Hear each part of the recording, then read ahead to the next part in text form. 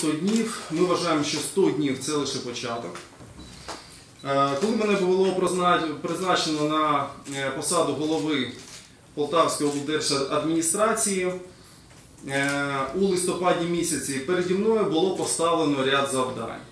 Перше завдання це наведення порядку в області та проведення аудиту. Аудиту на предмет ефективності та законності прийнятих рішень. Це Тобто наступне завдання, або яке з ним безпосередньо, тобто поєднання, це нещадна боротьба із корупцією, з усіма її проявами на всіх абсолютно рівнях.